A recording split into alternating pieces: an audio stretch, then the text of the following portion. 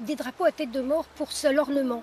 Comme chaque année, les vestiges du vieux pont génois servent à commémorer la bataille de Pontenot. Un 8 mai, pour célébrer la mémoire des combattants de Pascal Paul, des milliers de soldats y sont morts. La commémoration a d'abord été le fait des nationalistes. Mais la nouvelle association Rigor di Ponteno, qui a repris le flambeau des anciens il y a quatre ans, veut mettre la jeunesse, toute la jeunesse, au cœur de la transmission. On travaille beaucoup avec les syndicats étudiants de l'Université de Corse, les trois syndicats.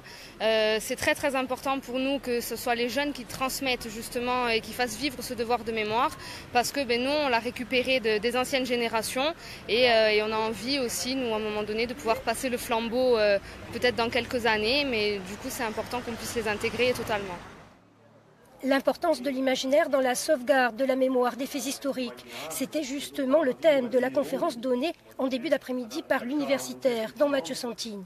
Autre acteur de la journée, la Soge Inagionale, habillée en costume d'époque. Pour eux, être présent à Ponteno est un devoir. C'est un devoir de, mémoire pour le sacrifice que nos ancêtres ont, fait ici, sur cette bataille. Euh, beaucoup de familles certainement ont des ancêtres hein, qui, sont tombés ici, tout simplement, et puis le faire connaître à la jeunesse, à la jeunesse de notre île.